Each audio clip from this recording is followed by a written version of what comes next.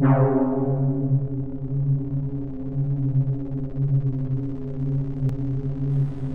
story time.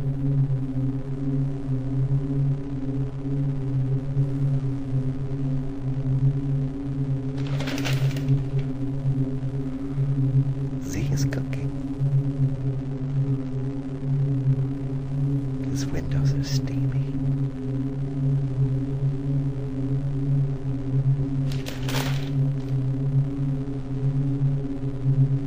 That tree is lovely.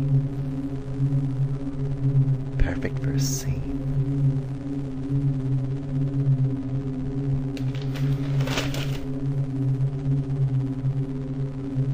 Bob is putting on his boots.